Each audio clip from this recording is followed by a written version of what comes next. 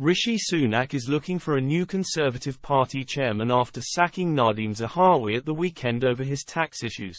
Rishi Sunak is being urged to make former Home Secretary Priti Patel his new party chairman in a bid to start to heal the deep wounds in the Conservative Party. The Prime Minister is being warned if he hopes to survive he needs to start bringing into his top team some of the political big beasts who he consigned to the backbenches. With the Conservatives trailing by 21 points in the latest Techne poll and facing an activist rebellion over the way Mr. Sunak was installed as party leader and Prime Minister without a membership vote, Tory backbenchers are growing increasingly concerned.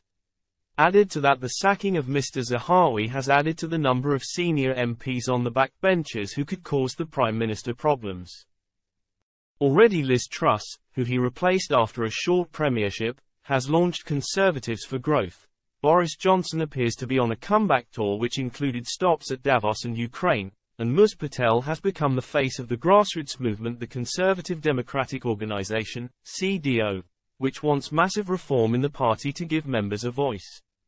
Ms Patel is understood to be open to the idea of becoming party chairman in charge of election campaigning to help start healing the rifts in the party and give the Tories a fighting chance at the next election. One senior conservative described her as the golden thread who can weave together the party membership, parliamentary party and party leadership again.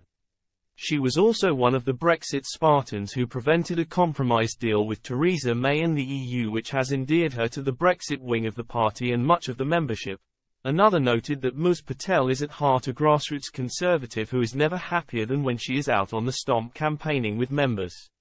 Even advisers close to Mr Sunak warned the Tory leadership is missing the stardust of Boris Johnson and Ms Patel touring the country during the last election.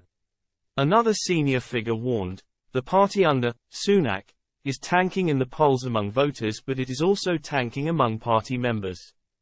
The new chairman needs to be someone Ike Priti who can give them something to believe in and fight for again.